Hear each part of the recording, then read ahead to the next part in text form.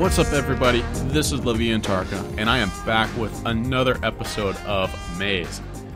Uh, where we last left off, we got into this reactor room and we returned power back to this facility. But now we don't have any direction of what to do next. We don't have any objects besides this English muffin, and our portfolio hasn't really told us anything. So we'll just go back this way and see what we can do. And so last episode, we went up that pathway, and we couldn't do anything there because there was a door with no handle. So we we're, uh, we're not going to go up there. We know we came out through that way. We know that door is blocked off, and this is where we just came out. So I guess that just leaves us with going up this pathway right here. Now, maybe there'll be something up here. It's Let's see. dark in here. I can't see a thing. Perhaps if we turned around. Oh, don't be ridiculous. This is a perfectly nice place to stand. Well, I can't argue with that logic. Neither can I. Okay, that gives us a lot of information. They're not, it's dark and they're not going to turn around. Door to hook room four. And doors open. What is this stupid thing? Oh, this looks.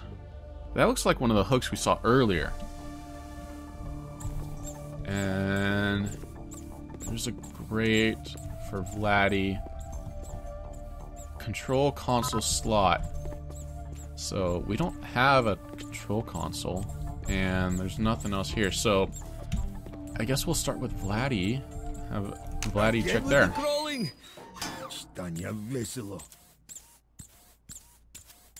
Uh, what is Vlad doing here?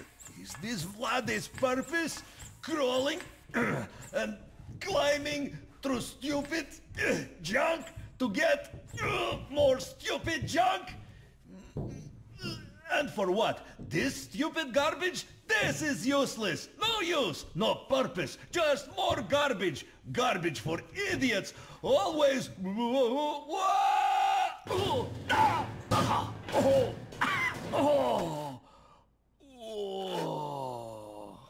Garbage. Я тебя люблю. Of this garbage worth Vladdy's suffering, but already know the answer. No, because it's garbage! what stupid thing is next? Vladdy is really starting to hate vents. I wouldn't blame you. Alright, now we have a hook control console. Due to a communication error, this particular control this particular control console was designed to be removable from its base. It was lost approximately 60 times during the facility's existence. That's a bad idea to have it removable. And we know what goes here because we just saw this. Let's hit start. See what happens.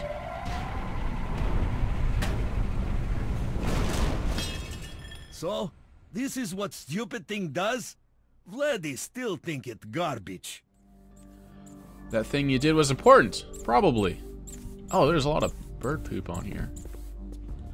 Yeah, I'm not surprised. Alright, so we got one hook raised. And a door wheel. You may have problem, idiot. You take too much garbage.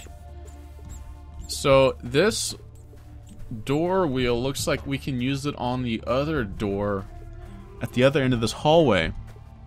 Uh, we we saw that at the uh, the last episode. So this must be what gets us in there. And I'm gonna assume that that room is another hook room because of the layout of this hallway and how each of those doors were designed similarly. So that's a bunch of rocks. Here we go. Okay, an item can be placed there. There's a door. We open up the door. Yeah, I was right. This is another hook room. Initiate hook activation. Okay.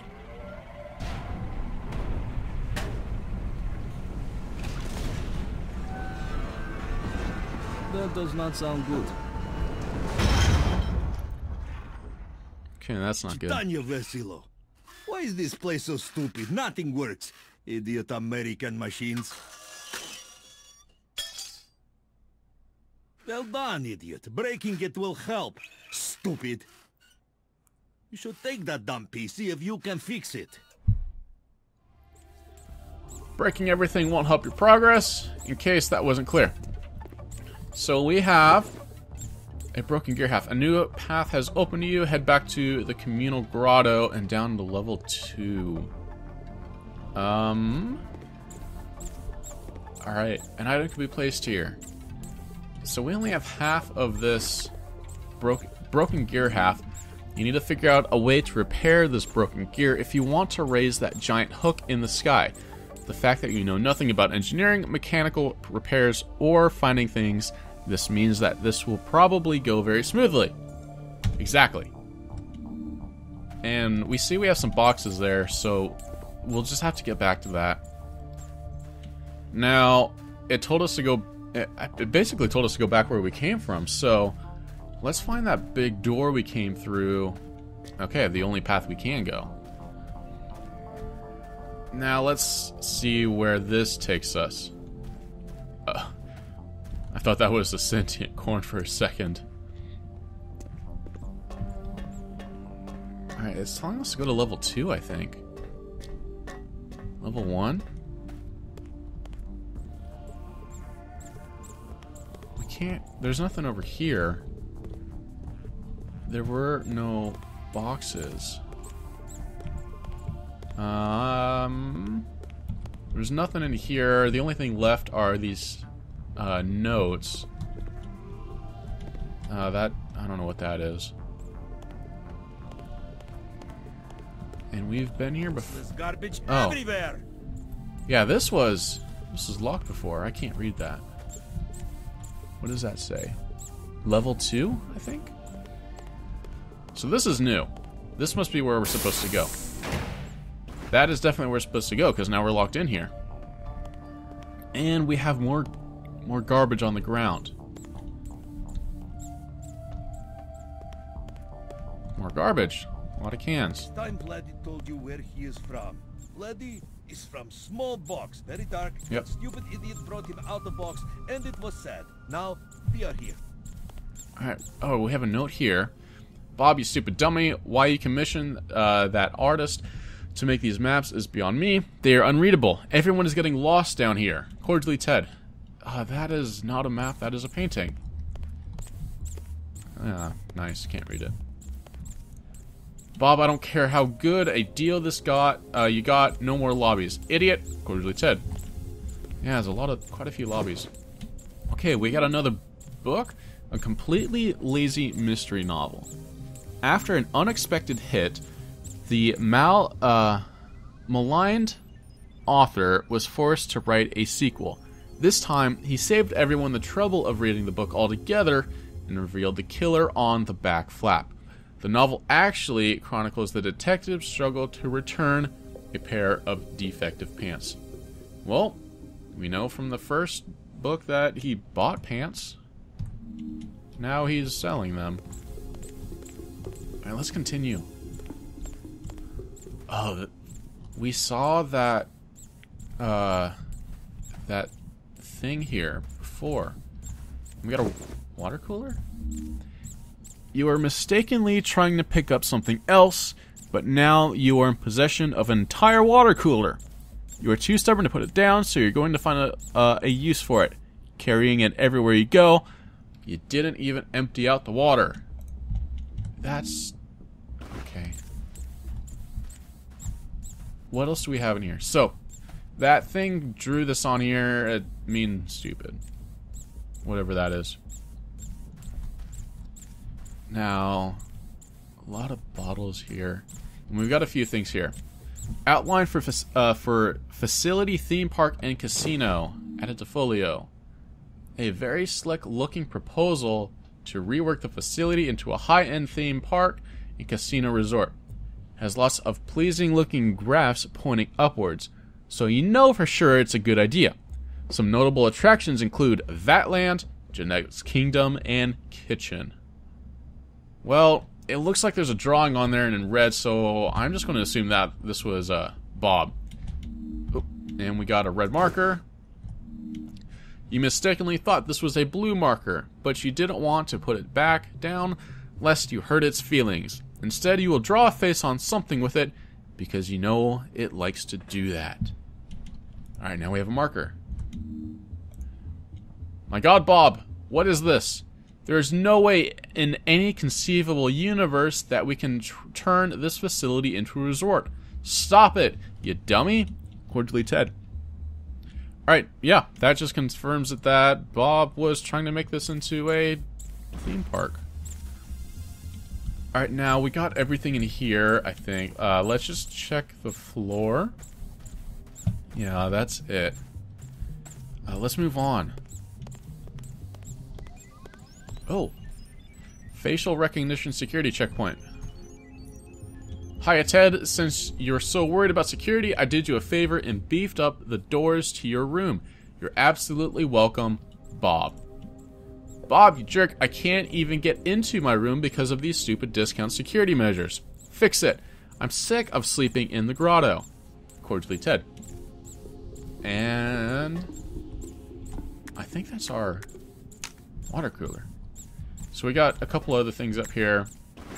I don't think a red marker will fit here in either Broken Gear Half or... I'm just going to start ignoring this English muffin. Workplace Readiness Report. Added to Folio. Giving up on the Corn's ability to be weaponized on any level, the scientists uh, attempted to see if they could be of any use in, in the general workplace. They weren't, opting to take naps instead.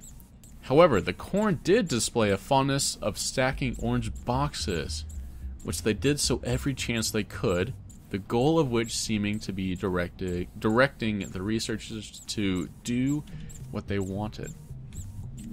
Well, we know who's stacking those boxes, and we have a rocky rock. Now, this is a rock that knows its place in the world, unquestioning, unwavering, happy, and basking in its complete and utter rockiness. You have named it Shelby. And we have a statue. Oh, and another box. We have a sturdy box. This is absolutely, positively the sturdiest box you will ever find, except for the one you see immediately after you pick up this one. You now have what is known as Boxer's Remorse. And we have a couple... Oh, Oh. I didn't notice these. Were they, were they talking earlier? I missed it. What do you say? So, Bob, what do you think of this? See what you have driven me to, jerk? Cordially, Ted. Hiya, Ted. This is great. Really excited to see you get into the spirit of things. Added one of mine so we could be side by side. Really think it balances the place well. Bob. So, Ted decided to make his own statue, and Bob answered back? It's a big statue. Alright, let's check down here. There's a, it looks like a little office is down here. Oh, yeah. Let's get this box here. Alright, one less thing we have to carry in our inventory. Let's check down here. Oh, a lot of notes. Hiya, Fernando. Oh, Fernando. Uh, we were introduced to Fernando in the first episode. He was the one out by that, uh, that tower thing. I think he was electrocuted. Hi, Fernando. Could you be a pal and place the tour brochures across the facility? There's only a few hundred, so you'll be able to do that in no time flat. Bob. Fernando, you cretin, ignore that idiot Bob's request. What you really need to do is sort the samples in the genetics lab uh, from least reactive to most. So get on it. Cordially, Ted. Hi, Fernando. Got a more important job for you than that. Need the statue directly above you, moved about an inch or so.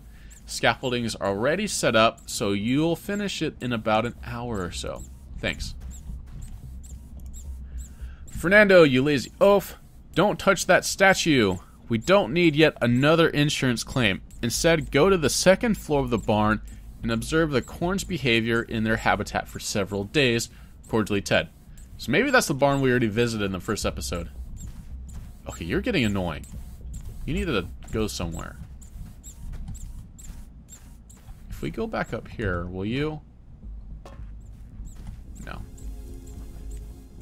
And don't move a muscle, that'll throw the dad off. Cordially, Ted. Hi, Fernando, don't worry about that observation stuff. The corn will take their own notes.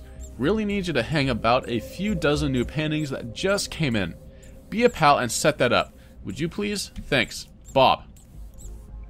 Fernando, you twit, don't lift a finger for those paintings. Instead, use this pen, draft a letter for me. Dear Bob, you're a nitwit and an idiot. Cordially, Ted. Cordially, Ted. And we have a book titled The One Second Assistant. A peculiar book on how to be an assistant in the workplace, whose end appears to be to do uh, as little as uh, as little work as possible. Chapters include how to shred everything, an intro into hiding in the office, and shifting blame to the intern, and a daily planner. The final page consists of six appointments 9 a.m., do nothing. 11 a.m., pick up new fedora and glove. Noon, torture stupid corn for amusement. 3 p.m., hide to avoid work. 5:45, torture corn, and 6 p.m. initiate master plan. So I wonder what that master plan is. All right, we have a coffee trolley, which is out of coffee. No, no. Alright, we'll come back to that later. Medicine ball. You could have taken a much lighter ball for this particular task, but that would require a grasp of logic for you, a grasp of logic that you don't really have. Well, oh, there's something here. Oh, master plan. Appears to be the only thing Fernando, the founder's assistant, put any effort into aside from shredding important documents and wearing fancy fedoras and gloves. It's a very poor plan involving jumper cables, a strange lightning rod, and somehow turning into an all powerful god. Notes read that the stupid corn told me their secret, and Bob and Ted will be my assistants now. So that is how Fernando died. He hooked himself up to that light. It looks like it seems to be a lightning rod, and thought he would uh, zap himself to be a god. Alright, we've done everything in there. There are a couple more rooms over here. Let's check this one over here and... Yeah, that's a dead end. Tin Company. It's the same drink. Alright, now we have this last room here. And this has to be Bob's room. You can tell by the painting there and by the mess. Oh, that looks like our medicine ball. And it looks like a plant. So maybe we'll have to look for something. Keep an eye out. Uh, we got pruning shears. Bob bought these to help maintain the large number of plants that decorate the facility. The small fact that they were all plastic and didn't need any maintenance didn't deter him in the least. Alright, let's keep an eye out for anything else. Bob's journal. Oh, this will be good. Oh. Okay. Written entirely in red pen. It it uh it isn't so much a journal as it's as it is a mindscape with occasional pictures. Massive, ambitious goals are written down and abandoned midway through in uh, inception and sometimes mid sentence. Well, that kind of seems how Bob thinks from what we uh, have experienced so far. Uh, what else is in here? I can tell this place is gross by that dis that uh that green fog. Ooh, a box of monkey treats. Bob mistakenly thought that uh, capuchin was another word for delicacy and ordered thousands of boxes to snack on. While he was told that the snacks were, in fact, for monkeys, he ate them anyway. Well, we can see them. That's not it. A navigational chart. Added folio. It's a small navigational chart of the Pacific Ocean with a very peculiar course plotted from the United States to an island in the middle of the ocean. The course has more in common with the movement of a small fly than any nautical vessel. It's apparently part of Operation uh, Subaquanime, whatever this is, Avadir. But owing to your poor understanding of all languages, you mistakenly thought that it's a chain restaurant spe- uh, specializing in Italian cuisine. Well, that's why I can't pronounce it. It's in Italian. Oh, there's a game system here. Well, it makes sense for this era because I think this place was, uh, what was it? 19, uh, 1983? And we have our gold toilet. Um, this looks to be another thing. That door's blocked out. Is there anything in here? So, what are we missing? Is that it? No. We need to find a plant. This is there a plant we can pick up? It doesn't look like there's anything here. Let's go back. And this way was definitely blocked off. Level 3 checkpoint. Alright, we can't do anything there. Uh... Oh no, that that's what we're trying to get into. We were already in here. Maybe...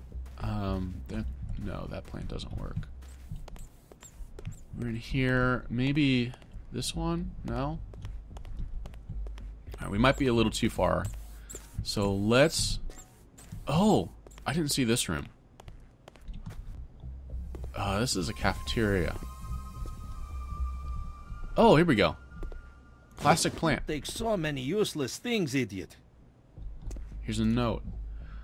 Bob, where is that idiot Fernando hiding? I told him to refill the coffee trolley with Ranka weeks ago.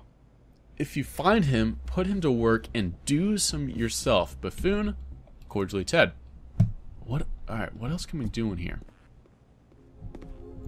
So we got coffee, we got plants. We got a locked kitchen door, and it can be opened from the kitchen. Now, do we have anything we can take? Anything helpful? That looks to be it. I'm just double checking, make sure we got everything. Alright. So that looks to be it. We know we can place this plant over here. Goes right here. And then uh, with our pruning shears, uh, we could cut that.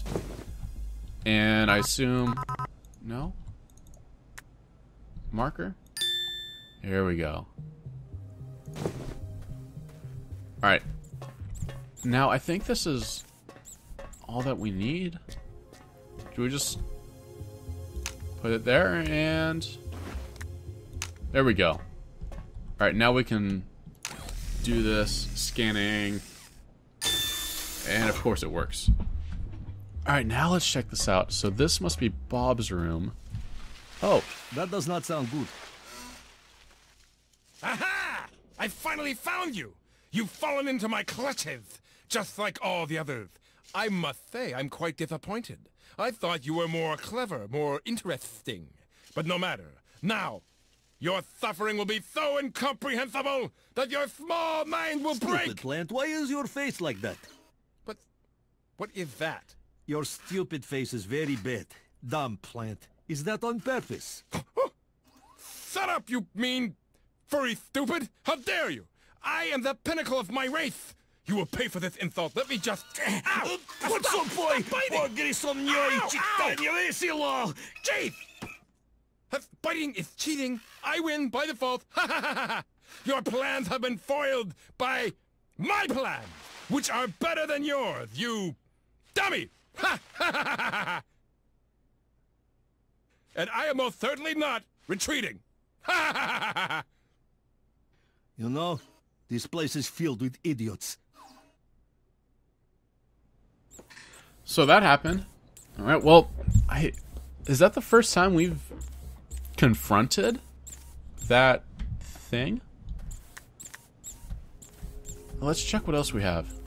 Um, the door we can't go into. We have oh, we have Ted's journal now. Written entirely in blue pen in perfectly sized paragraphs, is the most depressing diary known to man. Highlights include many thoughts on uh, optimal sock organization, regrets of his partnership with Bob, and sadness that it is that is his own project. An experimental marital AI program couldn't get funded. Wow. And a concerned lab report. A lab report outlined, uh, outlining further tests on the facility's breakthrough test subject, the famed female Ruby Queen Corn. Much more concerning than the last one, as it uses phrases like can't be controlled, the corn, follow her, and too much British. Recommends sequestering subject as soon as possible until further notice. So we've already confronted the ruby corn as well. Oh, whoops. How do we go back? All right. Oh, here's another thing. An old newspaper clipping. It's an uh, local teens win big science award. It's an old newspaper clipping that shows a very young Bob and Ted winning a science award for an artificial intelligence prototype. Judging by their demeanor, their partnership hasn't changed much since then. The, art, the article notably praises the display's sick presentation, spearheaded by Bob, and completely ignores the sciency parts which Ted did on his own. So, we we know now that these two have known each other since they were, what, teens for a while. A unicorn candle holder. Added to folio. This is a candle holder carving of Dave, the legendary unicorn, brought to life by a hungover demigod. This magical creature possessed near infinite foresight and a complete lack of spatial awareness. It fell to its death immediately after it was created. That's too bad. And a jar of Ranka. Uh, a cheap knockoff of a well-known decaf coffee brand. Ranka is unique in that it doesn't taste like coffee whatsoever. Instead, the makers went for the taste and texture of an old boot. It's the only thing that the uh, facility's coffee trolley delivers. Alright, we saw that coffee trolley earlier. And now we have this jar of Ranka which we need to go put over there. But we're actually going to do that in the next episode because we are running out of time. So, with that being said, if you enjoyed this episode, make sure you leave a like and subscribe if you have not done so yet already. Otherwise, uh, I will see you in the next episode of Maize.